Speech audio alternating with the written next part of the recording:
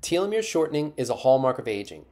Additionally, telomere shortening negatively impacts other hallmarks of aging, including genomic instability, mitochondrial dysfunction, and stem cell exhaustion. More specifically, telomere, telomere length declines during aging, with data for men and women as shown there. On the y axis, we've got LTL or leukocyte telomere length in kilobases, and on the x axis, we've got age plotted from about 20 to about 100 years old. And for both men and women, we can see that there's an age related decrease for telomere length, such that telomere length in youth is about 7.75 kilobases, whereas in centenarians or 100 year olds, it's closer to about 5 kilobases. Now, a central premise of the channel is to slow aging by optimizing biomarkers of as many organ systems as possible, including telomere length. So with that in mind, in today's video, I, have, I now have 10 tests since 2022, so what's my data? And then additionally, which factors are significantly correlated with telomere length? So let's jump into the data.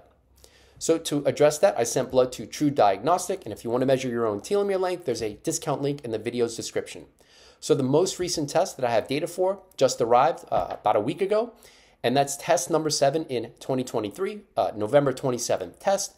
And for that test, we can see that telomere length, according to the screenshot, was 7.1 kilobases. But that's uh, an error because below that screenshot in the report, it showed that it was 7.19 kilobases. So for whatever reason, there was a rounding error for whomever at TruDiagnostic made the, this image. Now, note that in youth, 7.75 kilobases is what's found. So I've got some work to do there to get it closer to youth from 7.19 to 7.75 kilobases. But the good news is this is my longest telomere length yet, over 10 tests. So note that this is just one test though. For comparison, let's see how telomere length in 2023 compares against 2022. And that's what we'll see here. On the y-axis, we've got telomere length with data for 2022 on the left and 2023 on the right. Over three tests in 2022, average telomere length was 7.04 kilobases, and after seven tests in 2023, I increased it to 7.14 kilobases. And note that on this image, which includes all of my data, we can see that now TruDiagnostic properly rounded up as that 7.19 is a 7.2 there on the plot. Now, rather than just looking at year-to-year -year averages, we can calculate using a two-sample t-test if this is a significant difference. And we can see, based on the p-value being less than 0.05, I was able to significantly increase telomere length in 2023 versus 2022. And note that it declines during aging. So this is a uh, some this is a good good data. So with that in mind, which factors may impact telomere length? How am I able, or how have I done this, or what's underlying potentially underlying this these improvements? So let's start off with correlations for diet with telomere length.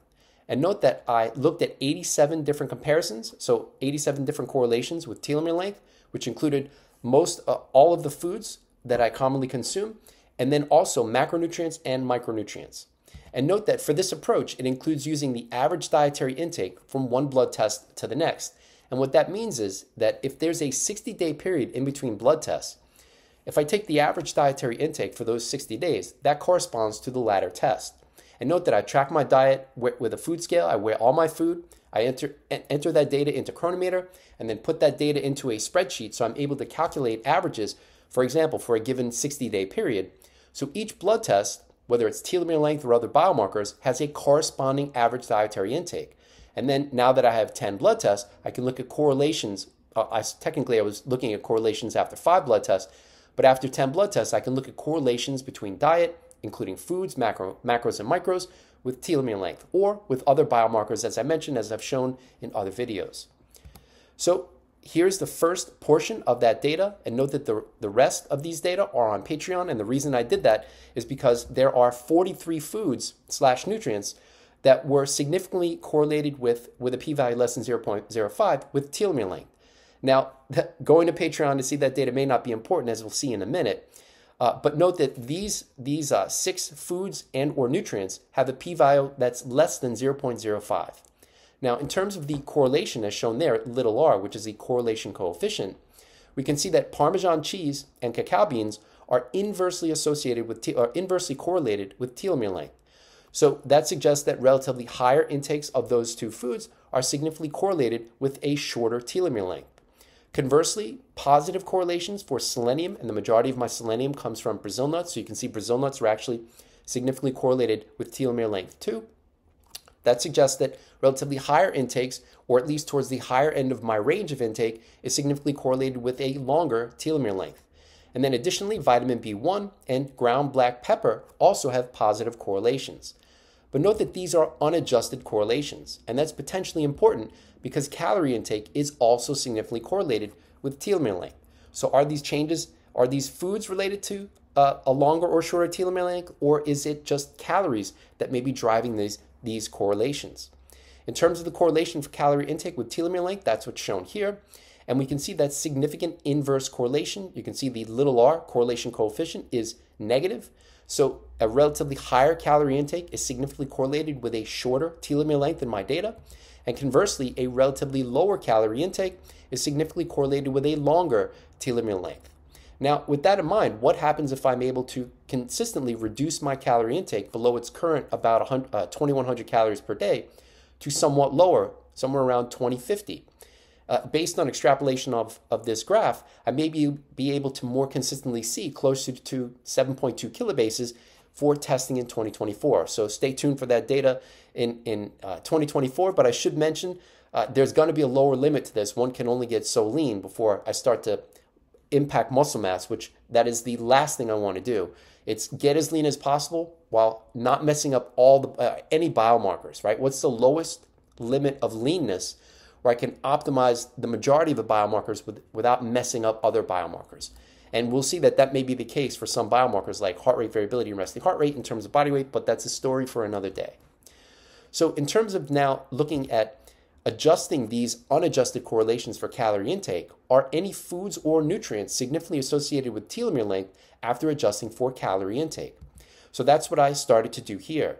And now in this model, we've got both Parmesan cheese and calorie intake. In, in other words, again, is Parmesan cheese significantly correlated with telomere length after adjusting for calorie intake?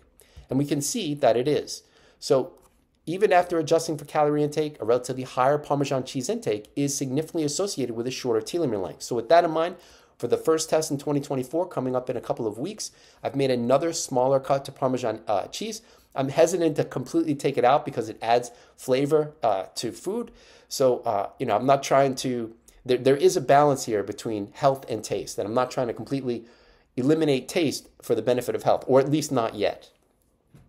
All right, so when looking then at the calorie adjusted p values, we saw that the Parmesan cheese is significant, but then using this same approach, selenium is now not significantly associated with telomere length, and nor is vitamin B1. And if I continue down the list, Brazil nuts, cacao beans, and black pepper, those two would not be significantly correlated with telomere length after adjusting for calorie intake. So then the big question is will this approach work? Will reducing Parmesan cheese, and I should mention as a side note, even though the calorie adjusted um, associations for selenium, Brazil nuts, cacao beans, and black pepper are not significant, I've actually kept my Brazil nut intake towards the higher end of my range to further test this hypothesis, and I've increased black pepper. So I usually eat about one gram, so I've doubled it to two. Whether that's going to make a dent, I don't know. We'll see. So rather than just purely relying on the stats, I can uh, directly test these uh, correlations by changing intake and then reevaluating the correlations after each test. So whether or not it'll work, we'll see for the January test. All right, that's all for now. If you're interested in more about my attempts to biohack aging, check us out on Patreon. And before you go, we've got a whole bunch of discount links and merch that you may be interested in including discount links for telomere length and epigenetic testing, NAD quantification, oral microbiome composition, at home metabolomics, at home blood testing with SiPhox Health, which includes ApoB and other biomarkers that are mostly different from the metabolomics, diet tracking, green tea, or if you'd like to support the channel, we, you can do that with the website Buy Me a Coffee. We've also got merch. So if you're interested in wearing the Conquer Aging or Die Trying brand, as I've got on here, that link and all the other links will be in the video's description. Thanks for watching. I hope that you enjoyed the video. Have a great day.